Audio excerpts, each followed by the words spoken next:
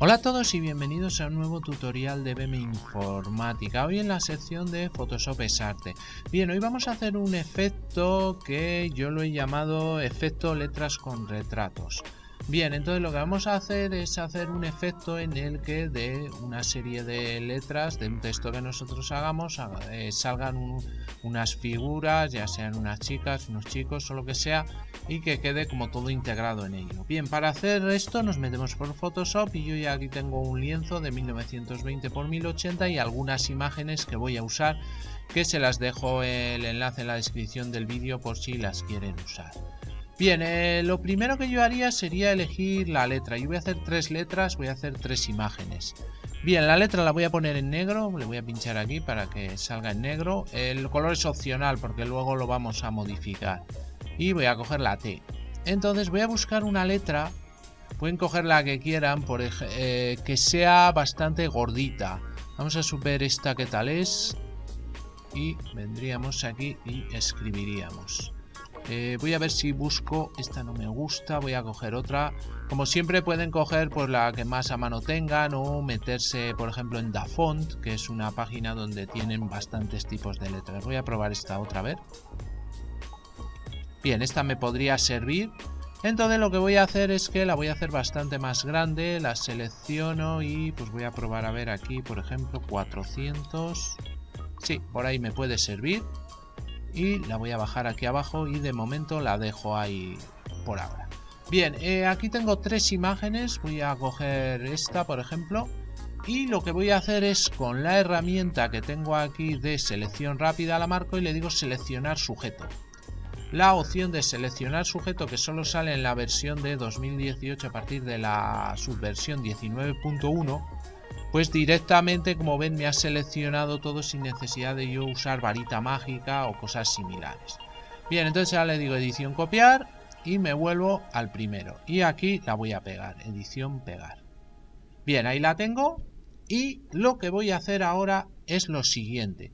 Voy a, bueno, aquí tengo dos capas, la que tengo la letra, la S, y esta capa 1, donde sería, eh, digamos, la chica. Entonces lo que voy a hacer es que voy a hacer control clic encima de la chica y como vemos, bueno, encima de donde pone capa 1, donde está la chica, vemos que ya me sale seleccionada. Y me voy a este botón de aquí abajo que tengo, que le voy a decir añadir máscara de capa. Perfecto. Bien, ahora lo que vamos a hacer es lo siguiente. Yo voy a tener, eh, como tengo, o sea, esta en la parte de arriba y justo debajo la capa, la, en este caso la S que hemos puesto, bueno, que he puesto una S, pero realmente no quiero una S, quiero una E, entonces la voy a cambiar. Ahí estaría, vale. Entonces lo que voy a hacer ahora es cojo la herramienta de mover y voy a mover la chica. La chica en principio tiene que quedar por, eh, eh, por encima y la letra la vamos a ver por debajo. Entonces lo único, la voy a, voy a agrandar un poco la figura de la chica para que luego la cabeza se me vea mejor. Por ejemplo así y ya lo adapto. Bien, ahora lo hago lo siguiente. Voy a darle, voy a poner en la capa de la E, la capa del texto y hago control y pincho en ella. Y ahora lo que me va a hacer es que me va a seleccionar, como ven ahí me ha seleccionado la letra, perfecto. Me cambio a, bueno, antes de eso voy a ir a filtro, perdón, a selección y voy a invertir la selección. Entonces ahora lo que tengo seleccionado digamos que es la parte de fuera. ¿Y ahora qué es lo que voy a hacer? Pues me pongo en la capa 1 y voy a coger un borrador. Herramienta borrador. Eh, y voy a ir borrando, como ven, lo que está por fuera de la letra. Voy a coger un borrador más grande para que me sea más fácil. Como él tiene la parte de fuera, pues lo de dentro en ningún momento lo voy a perder. O sea que puedo ir borrando casi sin tener mucho cuidado. Y como ven, voy recuperando y adaptando la imagen a la letra. Bien, ahí ya la tendría. Por aquí no voy a borrar nada porque es la, lo que es la imagen de la chica. Y ahora hago control D para yo tener, eh, como ven ahí, la, ya la imagen adaptada a la chica. Entonces, ah, bien, y ahora lo que podríamos hacer es ponernos otra vez en la letra, en la E. Y eh, vamos a ir aquí a FX, a las opciones de fusión y vamos a buscar una que pone superposición de degradado, que es esta. Y aquí le puedo elegir un degradado para rellenar esas partes que no rellena la propia imagen. Pues podría coger uno de estos, este no me gusta mucho, pero bueno, eh, podría elegir el que yo quiera. O incluso buscar por aquí, eh, vamos a ver, eh, en la rueda dentada pues tengo otros tonos fotográficos, efectos especiales. Pues voy eligiendo hasta encontrar uno que me guste y que yo lo podría dejar. Entonces, ese parece que me gusta ese color, pues le daría OK y ya está. Y yo ahora haría un paso más. Voy a seleccionar otra vez la letra E con el control. Le vamos a pinchar y eh, ahí vemos que ya me sale. Entonces lo que voy a hacer es una capa nueva. Y aquí voy a hacer un contorneo. Voy a ir a edición, contornear. Y eh, en principio pues eh, exterior y pues no sé si 15 sería mucho. Vamos a probar color negro. Entonces como ven ahí me sale hecho ese contorneo que me queda también muy bien. Entonces lo puedo dejar así o podría ser más finito. Bien, en principio ya tengo la, primera letra. Vamos a pasar a hacer la segunda letra. Entonces, como ya tengo el tamaño, pues no tengo problema. Le doy a la T y aquí ahora vamos a poner una B. Ahí estaría. La voy a bajar un poco. La, pongo, la puedo poner donde quiera. Puede ser más arriba, más abajo. Luego ya eso ya lo, lo ajustaría. Y aquí tengo otra imagen que sería la de esta otra chica. Y voy a hacer lo mismo que he hecho antes. Me voy a ir a eh, seleccionar aquí a la opción de selección rápida y le digo seleccionar sujeto. Me va a seleccionar ahora en un momento. Ahí lo tendría ya. Entonces le digo copiar y me vuelvo a mi primer eh, Le digo pegar aquí. Y ahí ya lo tengo. Bien, entonces aquí lo que yo ahora voy a hacer bueno, aquí, eh, como ven, las capas me las ha puesto porque como no estaba arriba del todo, voy a hacer una cosa para no liarlo. Lo que voy a hacer es que voy a poner aquí eh, la capa 3 arriba del todo.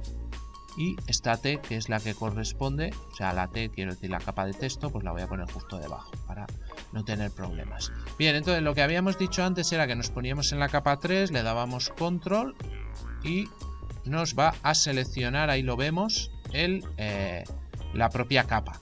Y ahora hacíamos una máscara de texto, o una máscara, mejor dicho, máscara de capa, y ahí lo tenemos. Bien, entonces ahora yo voy a adaptar mi letra, que la tengo aquí, a más o menos para que se vea más la cara o lo que yo quiera. En principio es un poco a gusto de cada uno. Entonces lo voy a hacer así para que sobresalga por un lado y un poquito por arriba. Ahí lo tendría y hago como antes. Lo que voy a hacer es control Pincho y me selecciona la B. Invierto la selección, selección invertir. Y ahora lo que hago es que me pongo en la capa 3 y voy a coger el borrador. Y voy a ir borrando pues todo lo que a mí no me interesa, que es toda esta parte, los dos huecos de aquí. Y luego pues lo mismo, voy a ir borrando por aquí hasta que yo más o menos decida qué parte quiero que se vea y qué parte no quiero que se vea. Ahí me he pasado un poco, ahora lo quitaré. Voy a adaptar esto primero y aquí voy a quitar esto, voy a hacer el borrador un poco más pequeño para que poder ajustar mejor, más o menos que se me ajuste así y más o menos ahí. Si hago control más lo voy a hacer un poquito más grande para poder quitar esto de una manera más fácil. Ahí como ven me ha quedado algún trocito y voy a coger el borrador mágico para justo darle un toque aquí porque de esa manera él me va a ajustar. Le voy a cambiar la tolerancia que la tengo en 15, la voy a poner en 32 y así me va a borrar como más fácil. Ahí. Y aquí ahora tendría que pasar con el otro borrador con cuidado para, tengo que hacer más pequeño, pues para ir ajustando, vamos a ver ahí, y quitando más o menos todo. Bien, cuando ya lo tenga le doy control más cero y así se me queda. Bien, entonces como ven ya tengo la segunda letra, por decirlo así.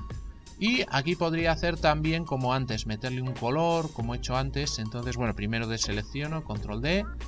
Y ahora lo que voy a hacer es lo mismo de antes. Estando aquí en la, en la propia letra, en la B, me voy a hacer un efecto, opciones de fusión. Y me voy a hacer un superposición de degradado. Entonces ahora como ven ahí ya me sale. Entonces como me gusta ese color que es el que he cogido antes lo dejo. Le doy OK. Y voy a hacer otra capa como he hecho antes. Mes voy a seleccionar la B con el control. Y voy a hacer otro contorneo. Edición contornear. A ver, un momento. Que no estoy en la capa. Ahí, no estaba en la capa. Edición contornear. Y le doy OK. Y entonces como ven, pues ahí ya me sale. Deselecciono y ya tendría la segunda. Bien, luego la puedo mover donde yo quiera, etcétera, etcétera. Bien, y me falta la última letra, que sería la M. La voy a poner por aquí. Bien, ahí la tendría. Ahora la voy a mover. Y la pondría por aquí. Como aquí no tengo mucho sitio, voy a hacer una cosa. Eh, lo voy a mover ahora todo para que no se me para que no se me escape. Entonces, simplemente lo voy a mover. Ah, aquí me falta una de seleccionar. Vamos a ver. Sería...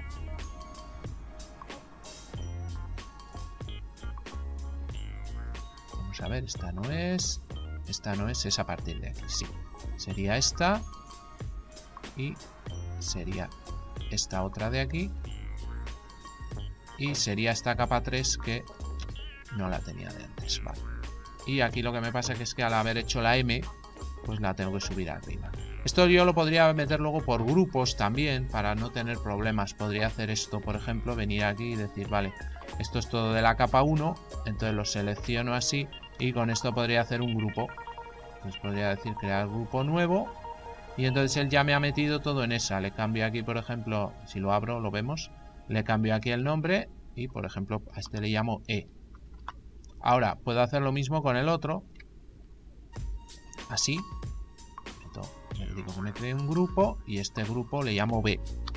Y luego haré uno al final.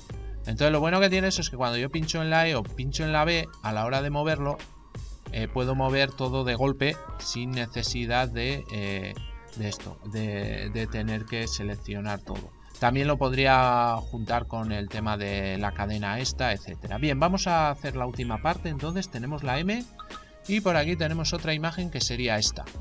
Entonces lo que yo voy a hacer aquí es venirme a la opción de selección rápida otra vez y seleccionar sujeto. Y ahora en un momento pues lo tendría.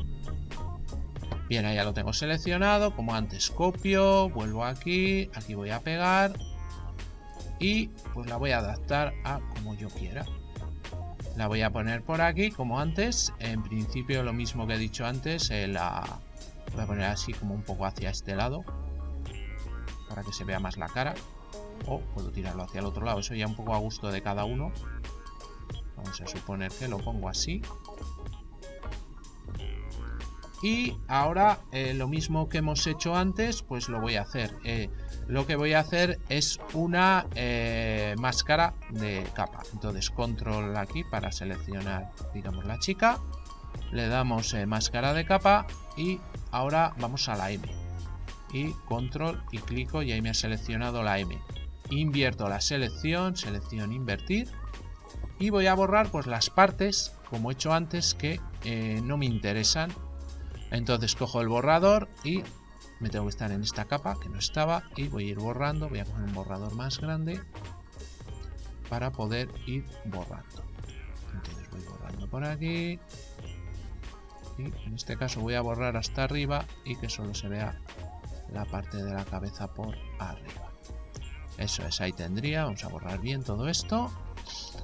Por aquí también podría borrar, es muy poquito lo que tengo que borrar por aquí. Y aquí sí que tengo que borrar lo que son las partes estas para que se vea bien la letra y luego aquí pues podría borrar eh, pues prácticamente yo creo que voy a borrar toda esta parte para que se vea solo un trocito de la cara e incluso me he pasado un poco voy a deshacer y voy a intentar ajustar aquí para que no, no pasarme de esta línea entonces vamos a coger un borrador más pequeño y hacer ahí Ahora tiro para abajo y ahora justo en el otro lado. Más para arriba y más o menos pues podría ser por ahí. Un poquito menos. Vamos a ver. Por ahí, eso es. Entonces yo ya tendría ya la tercera parte hecha también. Y ahora, ¿qué es lo que me falta? Pues eh, lo, mismo que, lo mismo que he hecho antes. Me voy a poner en la M y voy a hacer un FX, un por opciones de fusión, un eh, superposición de degradado. Pues lo mismo, ahí lo pongo, ya vemos que ahí aparece. Y le daríamos OK. Y finalmente, pues le voy a hacer como antes, le voy a hacer un contorneo. Entonces, ¿qué hago? Una capa nueva. Le voy a seleccionar como he hecho siempre la M. Me pongo en esta capa y le voy a decir contornear. Contornear que tenemos por aquí. Bien, ya tenemos el contorneo. Y aquí ya eh, solo me quedaría, bueno, primero esto lo voy a meter en un grupo. Epa, le dado una tecla que no quería.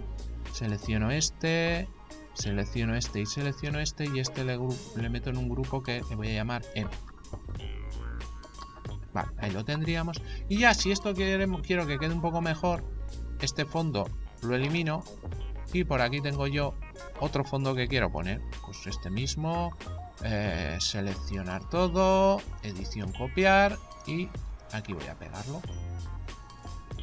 Bien, entonces ahora lo único tengo que meter ese fondo debajo de todo. Que sería por aquí. Bien, y ahora lo que voy a hacer es adaptar el fondo como yo quiera porque es muy grande. Entonces con la herramienta ajustar voy a ir ajustando hasta tener el tamaño que yo quiera que todavía es más. Vale ya por ahí voy a ir estando. Entonces voy a ir ajustando por aquí. Y ahí lo tendría. Entonces lo único ahora lo que voy a hacer es que voy a mover cada letra la quiero mover a un sitio entonces eh, lo que voy a ir haciendo es que ahora voy a ir a mover. Bien, entonces ahora lo que voy a hacer es que cada letra, pues la quiero bajar un poco o ponerla una más arriba, una más abajo. Entonces voy a empezar por la E, me meto en ella y puedo seleccionar todo esto, así, y ahora la muevo.